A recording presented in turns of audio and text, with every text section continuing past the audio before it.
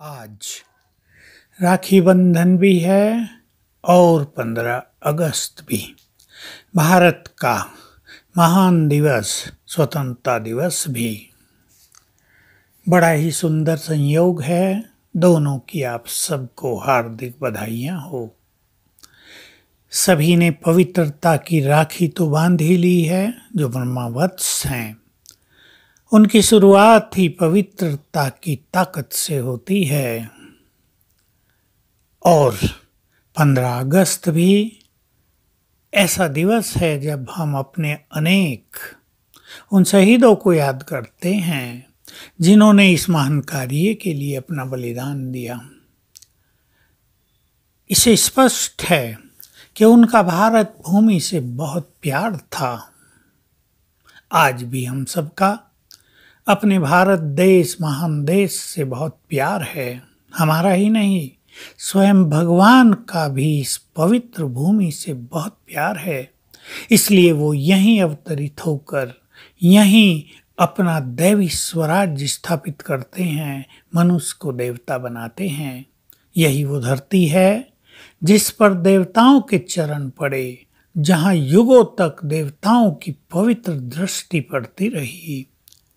तो ऐसे महान देश भारत को स्वतंत्र कराने का, लंबे समय की गुलामी से मुक्त कराने का, ये स्वर्णिम दिवस, इस पर भी हम अपने को बहुत गौरवान्वित अनुभव करते हैं। आज देश हमारा अपना है, हवा हमारी अपनी है, आकाश हमारा अपना है।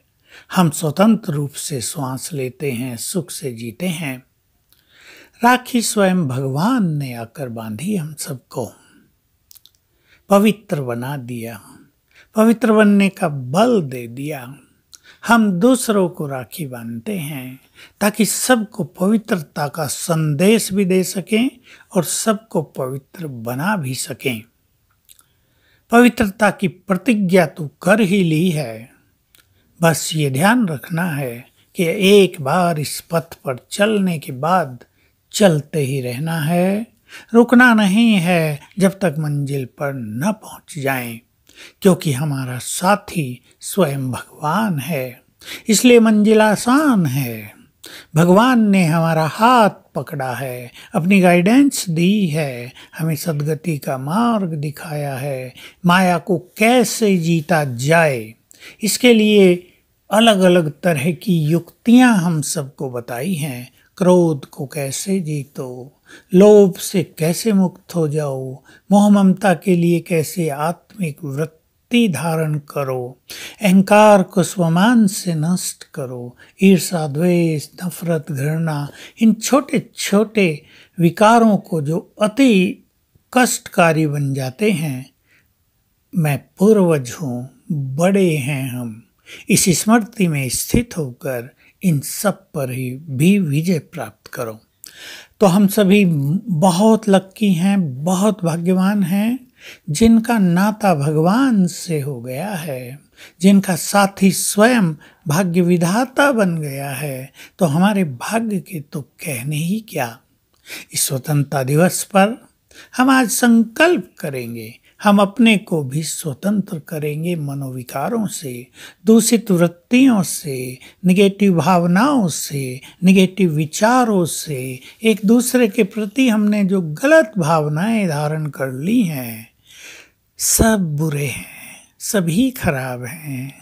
सब पापी हैं। ये जो निगेटिव वृत्ति धारण कर ली है, इसको हमें समाप्त करना है, क्योंकि हमारे भारत देश का भविष्य अब अति उज्जवल है। यहाँ हर कदम पर ये देश आगे बढ़ता चलेगा और लाइट हाउस पीस हाउस बन जाएगा विश्व गुरु बन जाएगा। वो दिन दूर नहीं, जब भारत की नीतियों को ही सारा संसार फॉलो करेगा। तो आज हम गौरवान्वित हैं, इन दोनों दिवसों को पाकर पवित्रता ही भारत देश की मानता है। पवित्रता के बल से ही ये देश पुनः देव, स्वर्ग, देवतुल्य, देवताओं का स्थान, स्वर्ग, सुखधाम, जहाँ अथाव धन संपदा सब कुछ होगा, ऐसा बन जाएगा। तो हम पवित्रता के वाइब्रेशंस प्रकृति को भी देते चलें, वायुमंडल को प्योरीफाई करते चलें, यही हमारी सच्ची राखी होगी और एक दूसरे के लिए पवित्र दृष्टि धारण कर लें। सब आत्माएँ हैं, या हमारे भाई बहनें हैं, इस संकल्प से पवित्र दृष्टि, पवित्र वृत्ति भी धारण करें तो हमारी राखी सार्थक हो जाएगी। ओम शांति।